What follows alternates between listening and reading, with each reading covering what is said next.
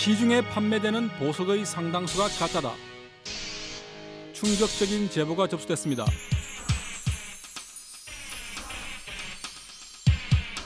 제보자는 10년 가까이 백화점에서 근무해온 보석 판매원 박 씨. 숱한 고민 끝에 PD 수첩을 찾았다고 합니다.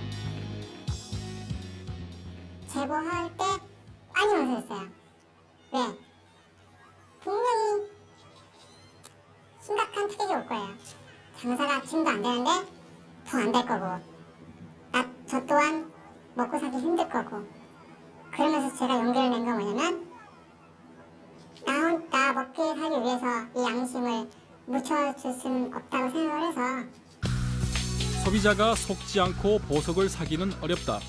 심지어 백화점 보석 매장에서조차 가짜 보석을 팔아 폭리를 취한다. 이것이 박 씨의 제보 내용이었습니다. 백화점은 뭐냐면 신뢰성을 가지고 장사하는데요. 물건이 비싸요. 비싼 건 어쩔 수 없어요. 백화점이니까 비쌀 수 있어요. 하지만 내 홍보를 속이지 말아야죠. 설마 백화점에 가짜를 팔냐. 하지만 우리는 가짜를 팔고 있잖아요. 백화점에서도 네. 제보자의 도움을 받아 취재에 나섰습니다. 한 달 남짓 취재진이 방문한 백화점과 시중의 보석 매장은 약 70여 곳. 그중 보석의 실체를 정확히 설명한 보석 매장은 겨우 3곳. 백화점 보석 매장을 중심으로 보석 27점을 구입했는데 그중 절반 가량이 가짜로 밝혀졌습니다.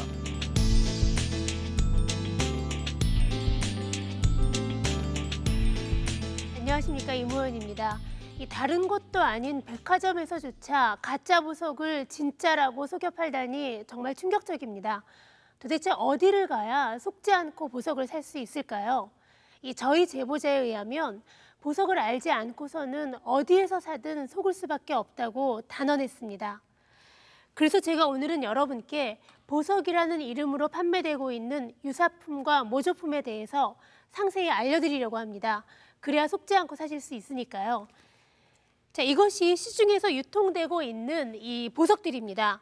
사파이어, 루비, 에메랄드 등 이 대부분의 유색 보석들을 모아봤는데요. 종류는 대략 한 4, 50종 정도 됩니다. 제가 이 중에서 사파이어를 한번 예로 들어보겠습니다. 자, 이 네 가지 종류가 있는데 언뜻 보기에는 분간이 전혀 가지 않습니다. 이 맨 앞에 있는 이것이 이 사파이어 천연석입니다. 천연석은 자연 상태에서 이 만들어진 물질인데 일반적으로 우리가 보석이라고 하면 천연석만을 가리키는 것입니다. 이 그 옆에 있는 것은 사파이어 합성석입니다. 이 합성석이라는 것은 사람이 인위적으로 만드는 것을 말합니다. 이 천연석과 비교해 보면은 겉모습이나 재질이 천연석과 똑같습니다. 그래서 천연석만은 못- 못하지만 나름대로 값어치도 있고 또 가격도 비싼 편입니다. 그 옆에 있는 것은 큐빅 지르코니아, 저희가 흔히 큐빅이라고 부르는 물질입니다. 이 큐빅도 사람이 만든 물질이지만 합성석과는 달리 이 자연 상태에 똑같은 존재가 없다는 점에서 이 인조석이라고 부릅니다. 그리고 이것은 모조석인데요. 이 사파이어와 비슷하기는 하지만 실은 겉모습만 비슷하게 유리로 만든 아주 값싼 모조석입니다. 자, 어떻습니까, 여러분? 이 네 가지 중에서 엄밀히 말하면 이 천연석만이 우리가 알고 있는 진짜 보석이고 특히나 이 인조석이나 모조석 같은 경우에는 누구도 보석이라고 말하지 않습니다. 이 따라서 이 네 가지 사이에는 가격 차이가 당연히 존재하고요. 혼동하면 소비자가 손해를 보게 됩니다. 자, 여러분이 가진 보석은 이 네 가지 중에서 어디에 속합니까? 혹시 속아서 엉뚱한 물건을 사지는 않으셨습니까? 이 저희 제보자는 고객을 속이지 않는 상인은 살아남을 수 없는 곳이 바로 이 보석 시장이라고 했습니다.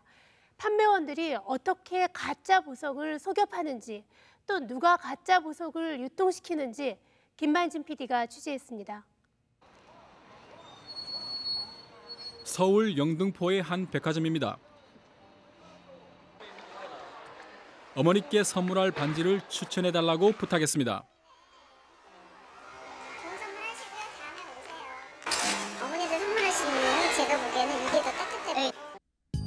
판매원이 권한 황수정 반지입니다.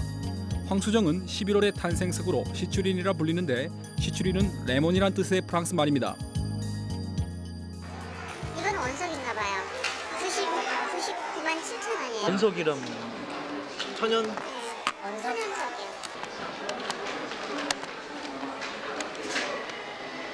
아, 90만 7천 원. 옆집, 옆집에서는 더 싸던데? 여기는 합성석이니까요. 근데 어머니 사이즈는 아세요? 아 당연하죠. 역시 좋은 아드님을 두셨군요. 보석업계에서 원석이라는 말은 곧 천연석을 의미합니다.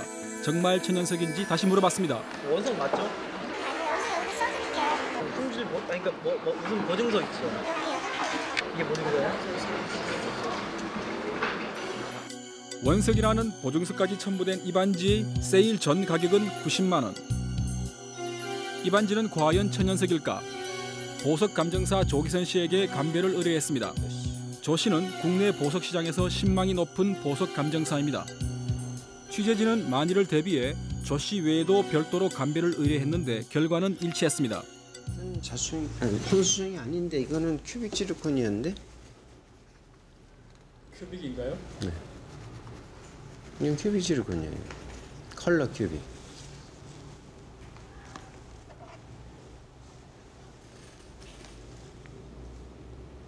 참나 아 이런 사람들이 있어요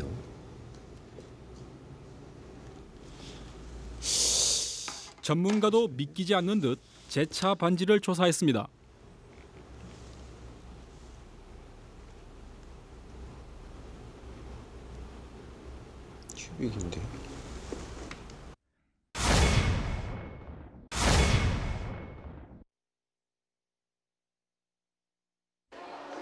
왜 큐빅을 황수정 원석으로 판 것일까? 이번에는 취재진이 신분을 밝히자 판매원은 시치미를 뗐습니다. 이거는 뭐라고 하셨어요? 이건 3등이라고 했어요. 이거는 황수정 원석이라고 적혀 있는데요. 왜 또? 네. 이제 어, 원석이 아닌데 그랬더니 선생님이 어머니 드릴 거라 그래갖고 제가 원석이라고 써드렸어요. 얘를. 할수 없이 반지를 살 당시의 녹취록을 보여주자 말이 바뀝니다. 왜 왜 이걸 원석이라고 생각하셨는지 그거는 제 부재예요. 제가 상품에 대한 지식이 없기 때문에 그런 생각합니다.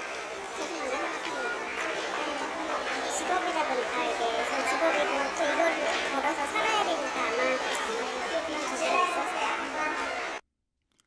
서울 송파구에 위치한 또 다른 백화점입니다. 판매원이 페리도트 반지를 보냈습니다. 페리도트는 8월의 탄생석으로 엷은 황색을 띤 녹색의 페리도트가 가장 가치를 인정받는 보석입니다.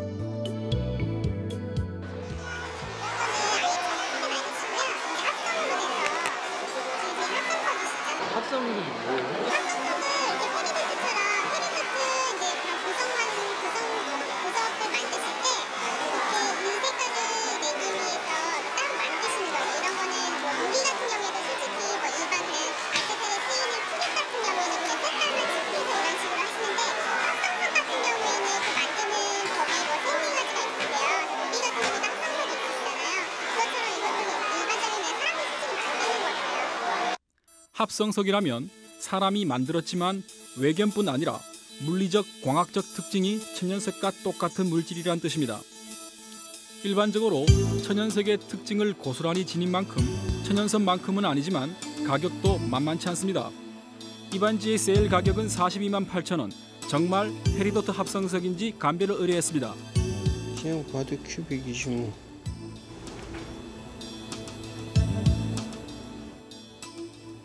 큐빅 지르콘이에요 큐빅? 그러니까 소위 말하는 칼라 큐빅인가요? 컬러 큐빅 예. 큐빅에다가 색깔을 어, 이 이제 뭐 페리도트 색깔 비슷하게 낸 거죠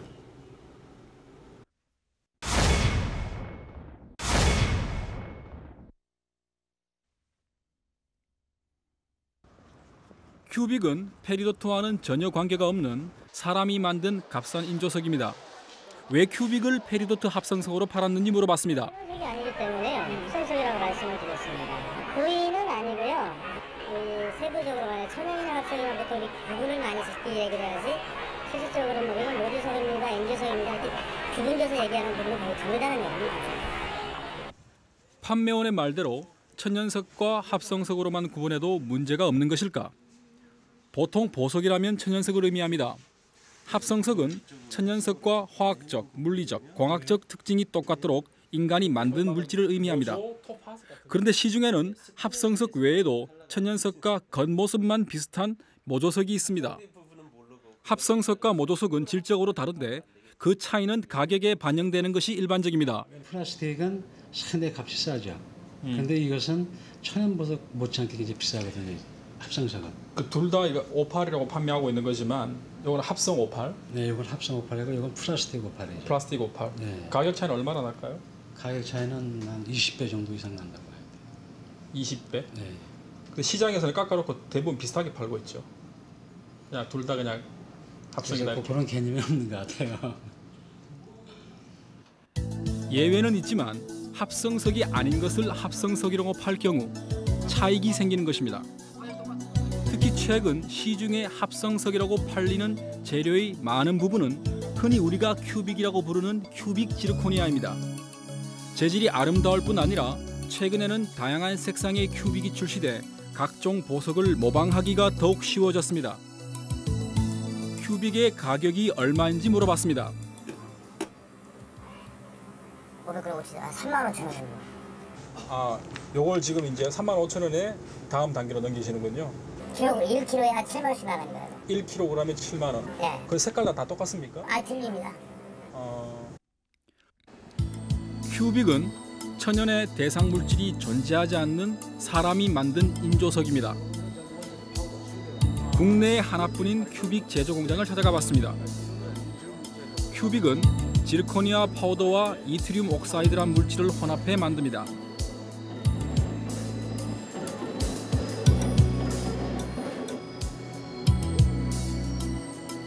이 혼합물을 틀에 넣어 2800도의 고온에서 60시간 가량 굽습니다.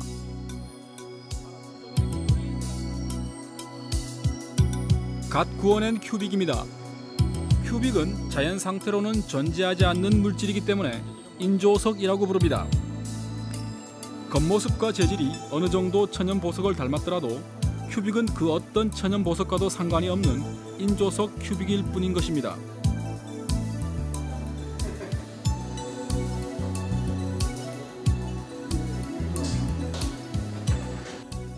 그 원석이라고 표기하면 안, 절대 안 되죠. 안 되고 이제 어, 이건 정확하게 칼라 큐빅 샴페인 칼라 큐빅 지 코니아라고 해서 팔아야죠. 그런데 큐빅 중 마시는 샴페인 색깔과 비슷한 색상의 큐빅은 시중에서 큐빅이란 이름을 감춘 채 샴페인으로 소개되거나 천연 보석으로 둔갑하기도 합니다. 아 샴페인이라는 거예요? 수장인데 황수장을 가격 어떻게 해요?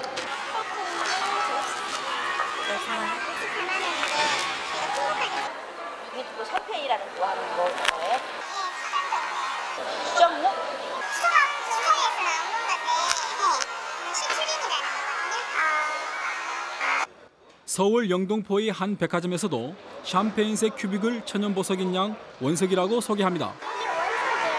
아, 원석이에요? 그래요? 샴페인 원석이에요? 어, 원석하고 아닌 거하고 차이가, 가격 차이가 많이 나요?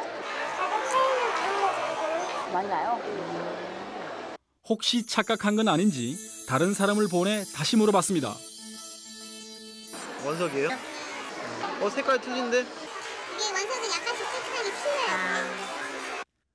샴페인 원석이란 보증까지 해준 이 반지의 세일 가격은 28만 원. 샴페인석 참 아이고 답답하네. 샴페인석이라는 돌은 없어요. 이게 보석 이름에 샴페인이라는 보석이 어디 있습니까? 하나는 없죠.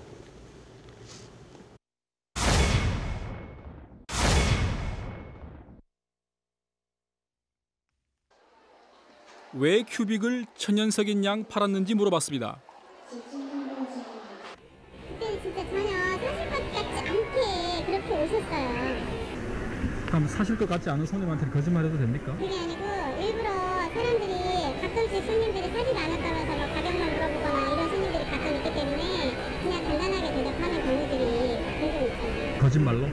거짓말로 하는 게 아니고요. 간단하게. 최근 나온 보석 제품에서 주변 장식용으로 사용되는 주변석은 대개 큐빅입니다.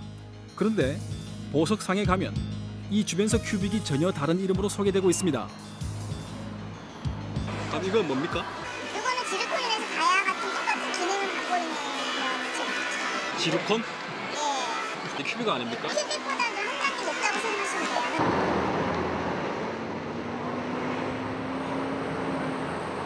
Number 있어요. 일반 큐빅보다 좀 더 좋은 거. 지루콘이 뭐예요? 그것도 하나의 보석이에요. number. 큐빅보다 등급이 더 좋은 거죠. 큐빅은 안 하면 다 number. 이유가 뭐예요? 이 큐빅은 워낙 그렇게 약간 싸다 이런 느낌도 있고 안 좋은 이미지가 많잖아요. 막 금방 또 떼가 잘 끼고 잠도 싣고 깨지고 이런 것 때문에 그런 걸 사용해요. 지르곤, 지르콘, 지르코늄 이렇게 불리는 이 물질은 무엇일까? 이것은 정확히 지르콘이라 불리는 천연 보석입니다. 큐빅이 나오기 전에 다이아몬드 대용석으로 사용되기도 했었는데 큐빅과는 아무런 관계가 없는 보석입니다. 지르콘하고 큐빅 지르코니아는 전혀 상관도 없는 물질이에요. 지난 한 달간 취재진은 이런 네 곳의 보석 매장을 취재했는데 큐빅 장식석을 큐빅이라고 정직하게 소개한 업소는 겨우 세 곳에 불과했습니다. 고객들이 이미 큐빅이 싼 곳으로 알고 있습니다. 그러면 백화점에서 비싸게 받으려 그러면 그거를 큐빅이라고 하면 고객들이 싫어하겠죠. 지르곤이라고 거짓말을 쳐야겠죠. 이거는 누구나 알고 있는 거야. 큐빅인데 지르곤이라는 거는. 예, 이 70군데 정도의 매장 중에서 이 큐빅을 큐빅이라고 파는 매장이 겨우 세 군데뿐이라니 이 소비자들이 대체 누구를 믿어야 됩니까? 이 앞에 보시는 이것이 바로 큐빅 지르코니아, 즉 우리가 큐빅이라고 부르는 값싼 인조석들입니다.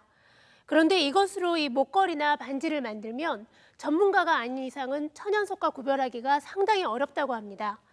이걸 제대로 알리고 합리적인 가격에 판다면야 이 저렴한 가격에 보석의 느낌을 낼 수 있으니까 소비자들에게는 참 좋은 일이겠습니다만 이 문제는 판매원들이 이것이 큐빅이라는 사실을 숨기고 비싼 가격에 속여 팔고 있었다는 점입니다.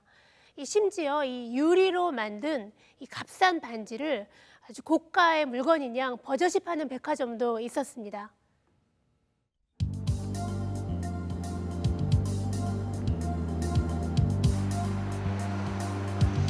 지방의 한 백화점 사파이어 합성석 반지를 팔고 있었습니다. 9월의 탄생석 사파이어는 값비싼 보석. 따라서 품질에 따라 다르지만 합성석 가격도 만만치 않습니다. 음, 이분이 매달이 18K고 14K예요, 고객님. 근데 정말 예뻐요. 원석은요. 요즘에 단 되게 해지기가 쉬워요. 오히려 학생이 간단하고요. 보세요. 이거 어떠세요, 고객님? 일반인도 예쁘죠? 응. 이거 일반인 진짜 예뻐요. 알은 까고도 이 뒤에 이게 화려한 게 있어갖고요. 되게 예뻐요.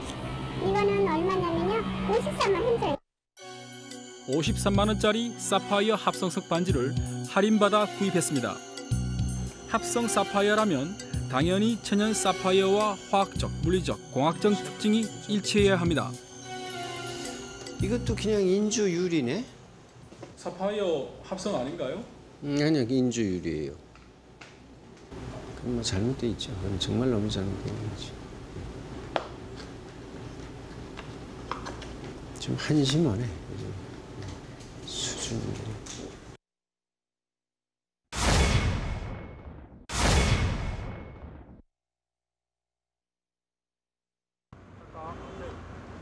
유리로 만든 모조석을 고가 보석의 합성석으로 판 이유를 물어봤습니다. 합성은 모두하고도 같은 생각을 하기 때문에 원색이 아니고요. 원색이 아니면 이거 같은 유니크색이나 똑같은 거기 때문에 저는 그렇게 표현을 했던 거거든요. 결과적으로 저 유리 조각을 지금 44만 원 받고 파신 거 아니에요? 근데 저는 유리라고 생각 사실 안 했고요. 이제 감- 제가 실제로 모든 이 보석을 전문을 하고 있는 분들이요.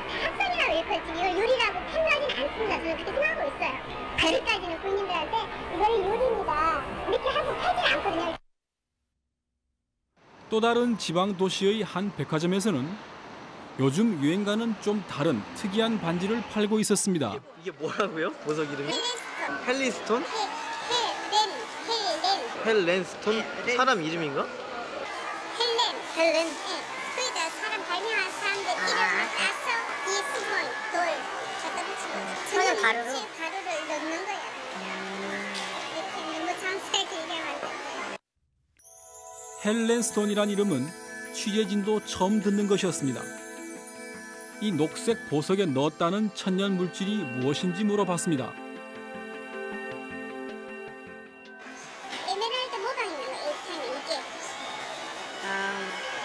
에메랄드 뭐 그런 가루로 같은 거 만들 예 그래요 그렇죠 아 헬렌스톤이라는 게 에메랄드 가루로 이렇게 마- 만든 거. 아. 그래서 에메랄드 색깔을 봤잖아요 이거 얼마까지 줄 수 있어요? 하시면 앞에 57만 5천 이게 원래 얼마인데? 71만 5천 원이야 57만 5천 까지 해드릴 수 있어요 이걸로 주세요. 어 괜찮은 것 같은데? 근데 너무 이쁘다 그죠? 뭘 아까워요? 아까 기름 파는 사람. 아니 너무 너무 멋스러운 걸딱 고르셨어요 너무 이쁘다 이게 왜 탐나세요?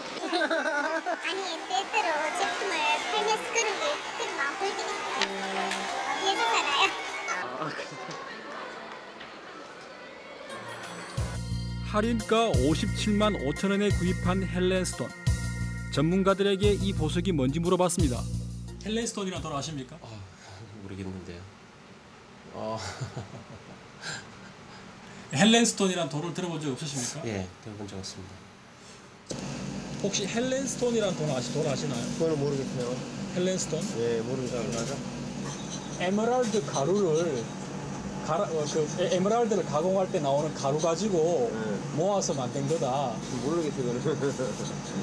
약을 헬렌스톤이다. 뭔 스톤이요? 헬렌스톤. 헬렌스톤은 또 뭐- 그런 게 있습니까? 뭐 처음 들어봐요.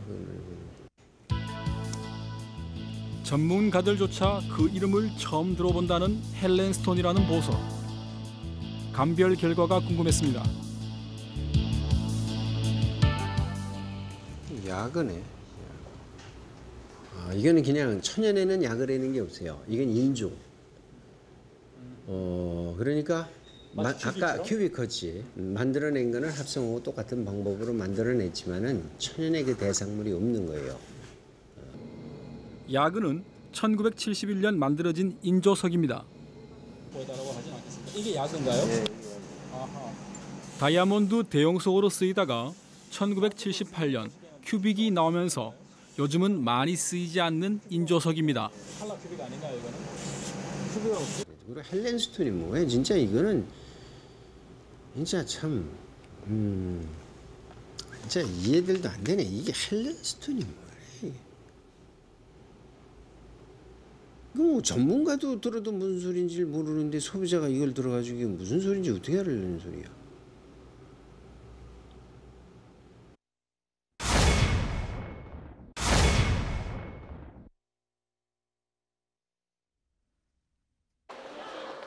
헬렌스톤이라는 이름을 누가 지어서 유통시켰는지 궁금했습니다. 헬렌스톤이라고 하는 보석은 없지 않습니까? 저들 주방에서 떼올 때 힐리스톤 이런 명칭을 붙여갖고 저들도 다 나왔거든요 그래서 저들 그 명칭을 쓰고 있습니다 제가 너무 몰라서 이 판매원은 물건을 공급한 도매상에게 책임을 전가했습니다. 서울 종로의 도매상을 찾아가 봤습니다.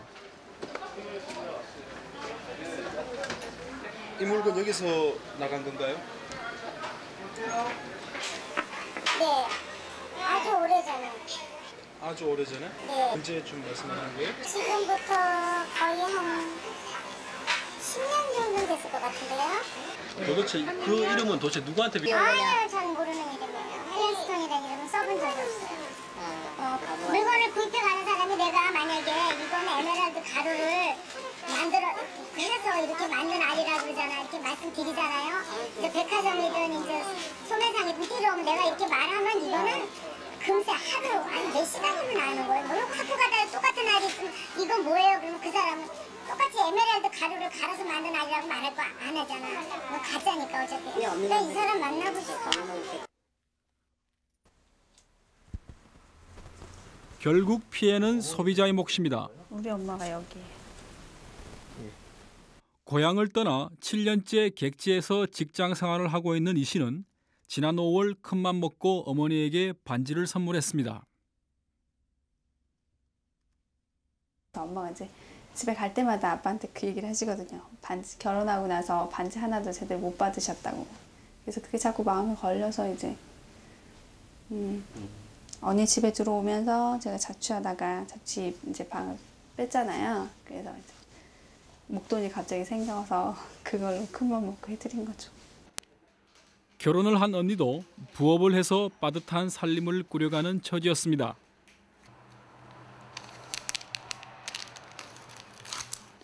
한 개가 얼마씩 이거요? 10원요. 10원이요? 네. 10개 하면 대원이네요. 네. 사실은 어, 그분들한테는 이게 큰 가격이 아닐 수 있지만 우리들한테는 가볍게 생각할 수 있는 가격이 아니잖아요. 그리고 뭐 부모님한테 선물하는 건데 그냥 뭐 동네에서 슈퍼 가는 것처럼 그렇게 쉬운 문제가 아니고 그래서 이제 여기저기 이제 가게를 가면서 그래도 이왕이면 디자인도 예쁘고 진주도 그래도 보기에도 더 예- 예쁜 거였으면 좋겠다라고 이제 생각을 했죠. 보석 매장을 돌며 발품을 판 자매는 그중 가장 믿을 만한 매장에서 42만 원의 진주 반지를 샀습니다. 처음에 살 때 저희가 그랬어요. 보석에 대해서 잘 모른다고. 근데 그래서 진짜인지 가짜인지 이거 진짜냐고 여러 번 물어봤었거든요. 근데 거기서 이제 진짜라고 그렇게 얘기했기 때문에 저희가 이제 거기서 믿고 산 거고. 그 어머니도 딸의 선물을 은근히 자랑했다고 합니다. 그런데 불과 석 달 만에 반지의 진주 껍질이 벗겨졌습니다. 굉장히 쇼킹했어요. 왜냐하면 진주 반지가 이렇게 벗겨질 거라고는 상상이 안 됐으니까. 그냥 뭐 애들이 그 문구점에서 500원짜리 반지 끼고 다닐 때 벗겨지는 것처럼 그렇게 벗겨졌었으니까. 어머니가 뭐라고 하시던데? 엄마 그거에 대해서는 그냥 우리 막내가 해줬는데 그러면서 그냥 괜찮다고는 말씀하시는데 저는 보는 저는 아니죠. 제 계속 죄송하죠. 알고 보니 모조 진주인 핵 진주였던 것입니다. 자매는 환불을 요구했습니다. 가서 딱 내미니까 첫 마디가 반지를 어떻게 이렇게 관리를 했냐고 그렇게 얘기를 하시니까 황당했죠. 자기네들이 이제 사기꾼으로 본다 이렇게 해가지고 뭐 버럭 화를 내더니 거의 뭐 그 쫓겨나듯이 해가지고 그러면 알만, 알만 바꿔달라 이렇게 해가지고 그냥 알만 바꾼 거거든요. 모조 진주를 진짜 진주라고 팔아넘기고도 환불을 해주지 않았다는 것입니다. 부천시 원미구에 있는 문제의 보석 매장을 다시 찾아가 봤습니다. 그런데 주인은 자신이 판 핵진주도 진주라고 주장했습니다.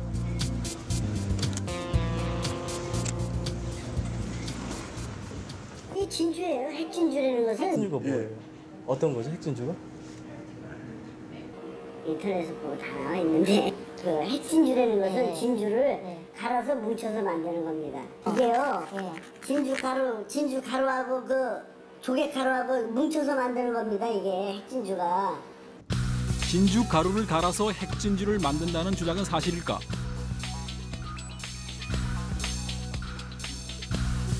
진주화를 전문적으로 취급하는 도매상을 찾아가 봤습니다. 진주 가루를 바르는 거는 아니에요.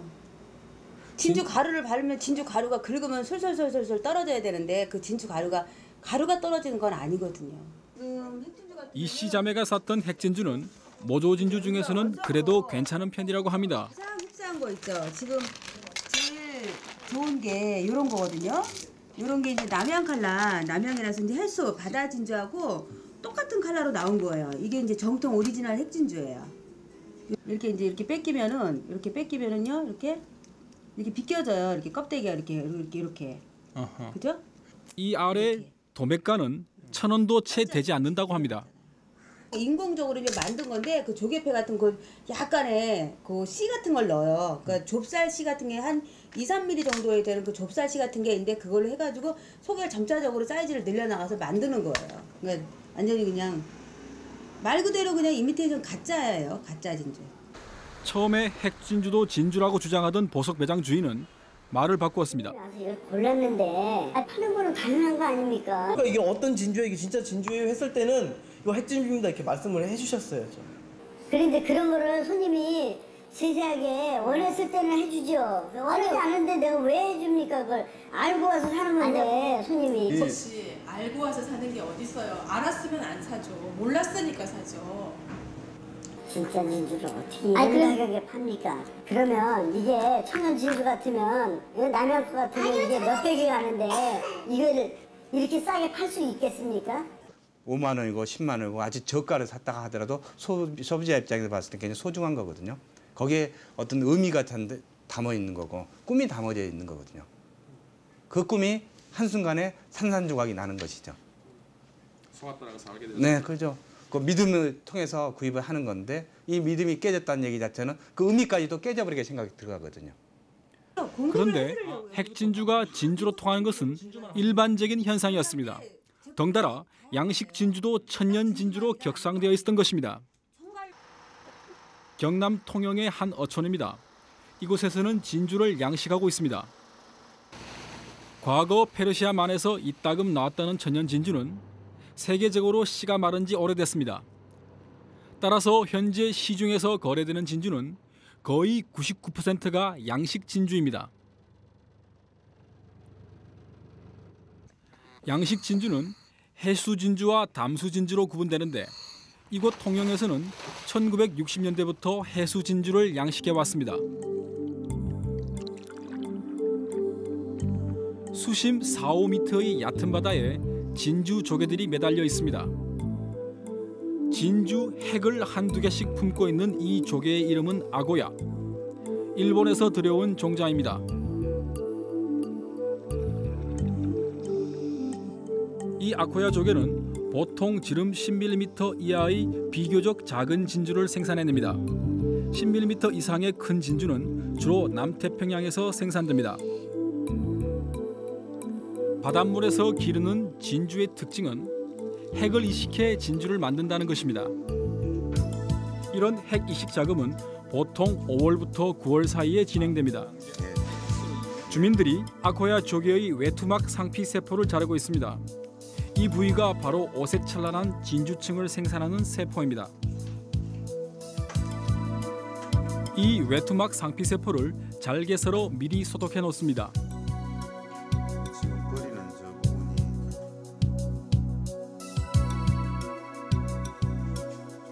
그리고 민물 조개의 껍질을 갈아서 만든 핵을 준비합니다. 요거 요거? 통영에서 양식되는 아코야 조개는 3년 정도 길러야 핵을 이식할 수 있습니다. 조개의 생식소를 자른 후 미리 준비해둔 외투막 상피세포와 핵을 같이 집어넣습니다. 이 조개를 양식하면 핵 주위에 진주층이 형성됩니다. 생식소에 넣어둔 외투막 상피세포가 세포 분열을 하면서 진주층을 만들어내는 것입니다. 핵을 이식한 지 4개월쯤 된 조개를 갈라봤습니다. 하얗던 핵에 오색 찬란한 진주층이 형성되고 있었습니다. 올해 6월달에 넣으신 거라고 하시죠? 이런 진주가 완성되기까지는 약 1, 2년이 소요됩니다. 이렇게 양식된 진주는 그런데 웬일인지 보석 매장에서 천년 진주 혹은 천년 양식 진주로 소개되고 있습니다. 색깔을 조금 이렇게 가미하신 저희들은 그냥 양식 진주입니다. 파는 분들에 대해서는 뭐 천년이라는 게 또 들어가면은 소비자들이 또 좀 뭔가 좀 좋은 쪽으로 생각하는 것 같아서 그렇지 않나 이런 생각이 드네요. 상술이다? 예, 상술인데 근데 상술이지만은 그 속이는 상술은 앞으로는 안 해야 됩니다. 그리고 우리도 정확하게 뭐 천년 진주, 양식 진주, 모소 진주 이렇게 딱 구분을 해야 되죠. 미국에서는 소비자를 보호하기 위해 보석의 명칭을 제도화해 가이드라인을 만들었습니다. 보석의 이름을 임의로 붙일 경우 사기 혐의를 받게 됩니다. 미 연방거래위원회의 규정에 따르면 진주와 관련해서 진주와 양식 진주, 모조 진주 그리고 시드 펄이란 용어만 사용할 수 있습니다. 모조 진주를 표현할 때에는 인공, 모조, 유사 등의 문구를 사용해 진주가 아니라는 것을 분명히 알리지 않은 한 기만적이라고 규정했습니다. 일본에서는 핵진주와 같은 모조품은 보석 매장에 발을 붙일 수 없습니다.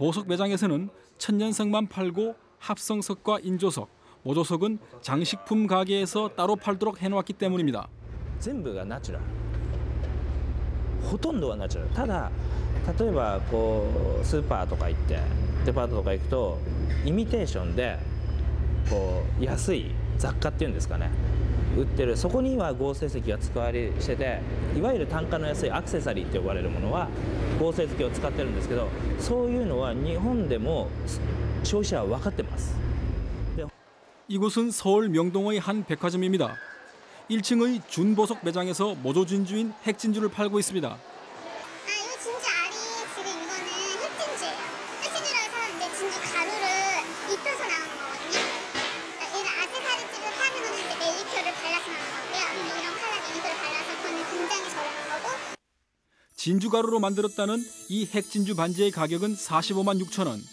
뭔가 다른 점이라도 있는지 궁금했습니다. 진주네. 플라스틱이에요. 진주에서 모조, 모조? 진주예요. 모조. 모조 진주. 진주 가루 바른 거 아닌가요? 아니에요. 에, 진주 가루를 어떻게 발라요 여기다가? 진주 가루 바르는 거 아니에요. 기본적인은 음, 플라스틱이 주 재료고 어뭐 이제 그것도 상인들이 만들어낸 어떤 마케팅 전략이라고 하나 할 수가 있겠는데 진주 가루를 바른 건 아니고요. 핵진주는 진짜 그거는 사람 속이는 거죠. 핵진주는 용어 자체가 그렇죠.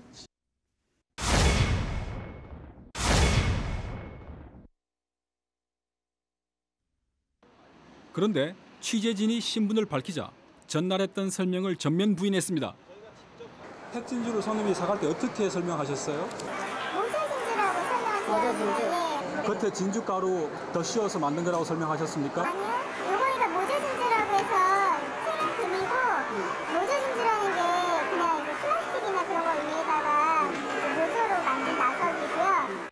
무렵 취재진은 문건 하나를 입수했습니다.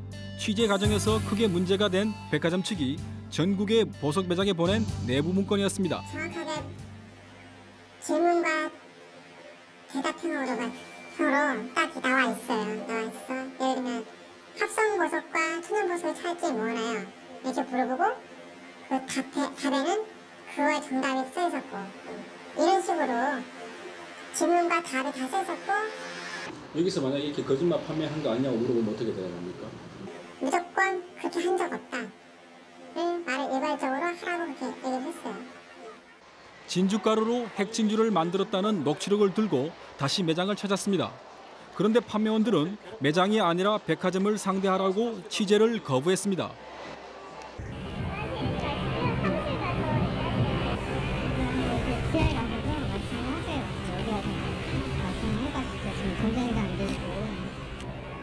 해당 매장의 점장과 연락을 시도했습니다. 예, 그 문화방송 KTCB 김만진 PD입니다. 예. 예, 그 업무 시간 것 같아서 좀 늦게 전화를 드렸습니다. 예, 지금 제가 통화가 힘들어요. 제가 지금 현재 지금요. 언제 통화가 되세요? 그때 문서를 해서 와서 음, 뭐 방송 업계 기자들이나 인터뷰를 요청할 때 전, 전혀 인터뷰 요청하지 말고 어, 인터, 인터뷰에 직원도 응하지, 네, 응하지 말고 각 팀 매니저하고 그 매니저는 뭐 홍보팀 전화해서 홍보팀이 저희 전량 다 책임을 지게끔 그런 유도를 해달라고 말을 하더라고요. 그런데 문제의 백화점 측은 수차례의 요청에도 불구하고 취재에 응하지 않았습니다.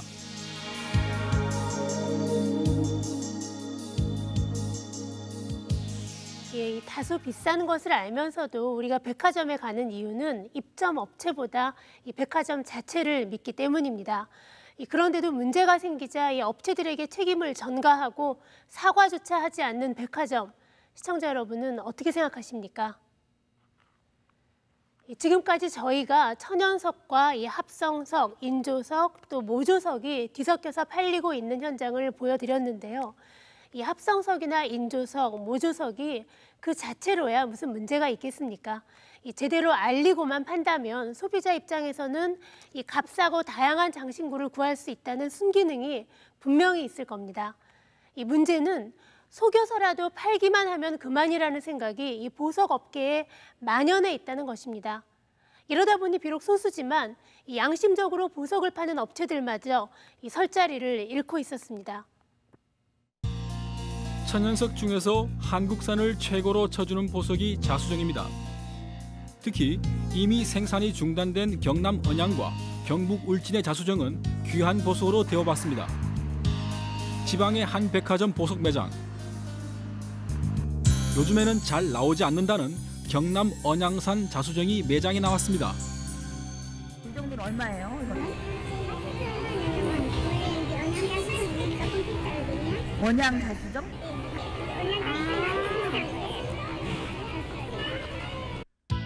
보증서까지 써준 언양 자수정 반지 가격은 69만 원. 그런데 언양산 자수정에는 특징이 있다고 합니다. 언양산의 경우는 아주 독특한 내포물들이 좀 있어요.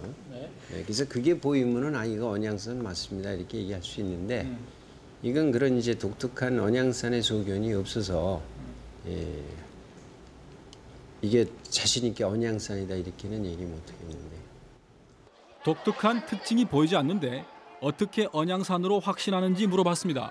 2003년에 들은 거라서 내가 아, 이 정도 번양일 수 있겠다 하는 생각을 제가 왜냐 그 집이 안 되게 되기 때문에 번양은 반 취급하는 집이거든요.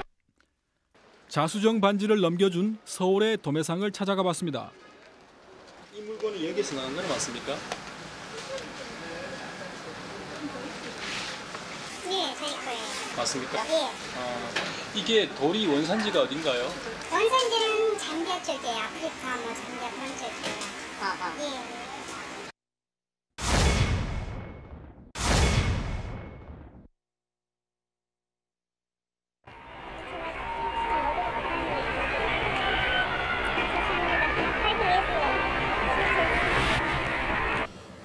백화점을 보고 가는 건데 백화점에서 그 자기네들 입점 수수료 매장 쪽에서 판매하는 거에 대해서 전혀 관여 안 하고 그냥 수수료만 받는다고 그러는 거는 이거는 어떤 의미에서는 그 백화점에 좀 문제 있는 거라고 생각이 돼요. 백화점 이외의 일반 보석 시장은 더욱 종잡을 수 없습니다. 인터넷 홈쇼핑 매장입니다. 국산 자수정 광고가 넘쳐나고 있습니다. 게 좋거든요. 그러니 산지가 네. 강원도 뭐 무슨 일 무슨 일이 나온다고 그것까지는 말씀드리는 게 인터넷 쇼핑에 넘쳐나는 소위 한국산 자수정은 다 어디서 온 것일까? 울진의 코리아 자수정은 국내에서 가동되는 유일한 자수정 광산입니다. 이곳이 경상북도 울진의 현재 채굴 중인 자수정 광산입니다. 띠를 이룬 자수정 광맥이 지 표면에 드러나 있습니다. 다 있는 게 아니고 이- 이렇게 띠를 이루고 있네. 그런데 생산되는 양은 그리 많지 않다고 합니다. 자수정 광맥을 파 들어간 갱도입니다. 이곳에서 생산된 자수정은 주로 공업용이나 신소재용으로 사용됩니다. 자수정 1톤을 캐봐야 보석으로 쓸만한 자수정은 1%도 되지 않는다고 합니다. 과거 채굴 작업이 활발하던 몇몇 갱도들 중에서도 현재는 채굴 작업이 거의 이루어지지 않는 경우도 많습니다.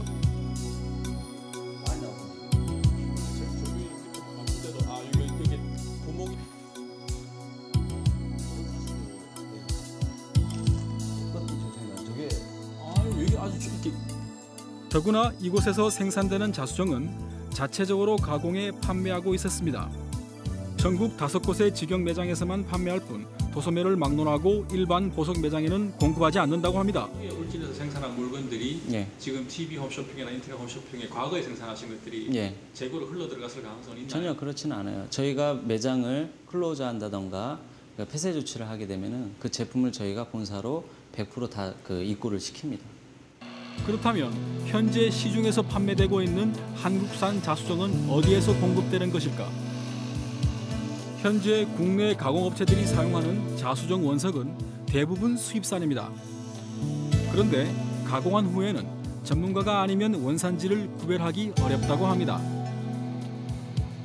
이게 지금 우리나라하고 거의 돌질이 비슷한 아프리카에서 나오는 자수정이거든요. 아프리카 어디서 나온 건가요? 마다가스카르. 마다가스카르산. 마다가스카르. 이런 게 실제로 그 시중에서는 국산이라고 등급할 가능성이 있군요. 예. 사실 그 국산 비슷하게 나오는 돌들이 있거든요.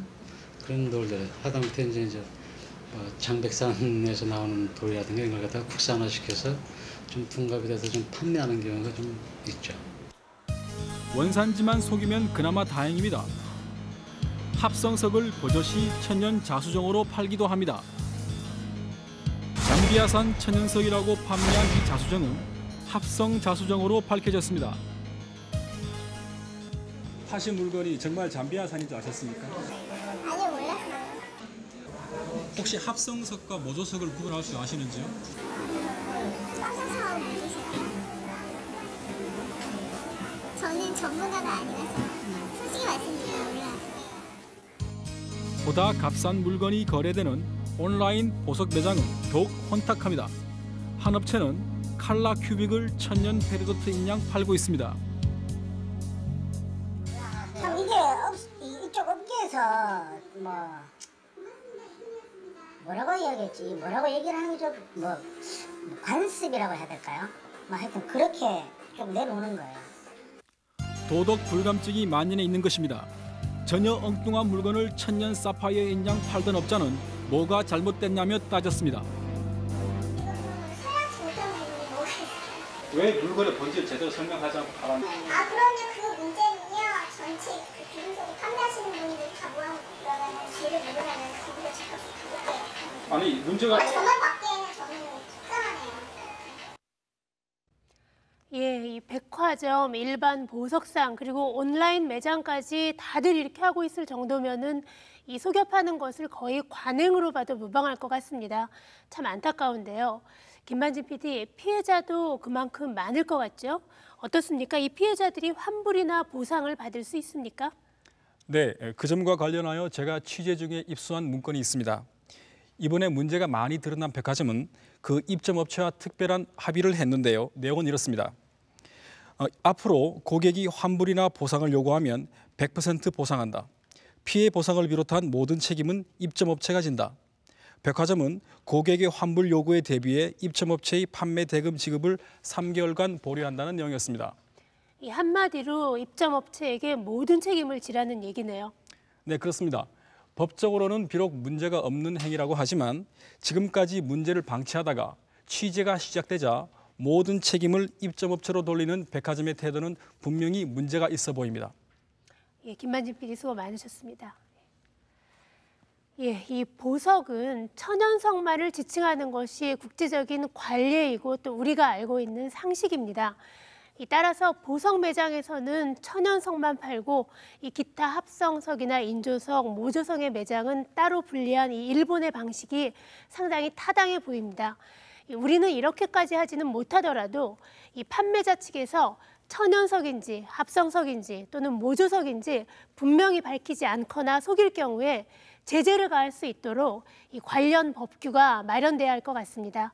그리고 이번 방송을 계기로 이 보석업계의 후진적인 관행이 개선되기를 바랍니다. 오늘 PD수첩 여기서 마치겠습니다. 감사합니다.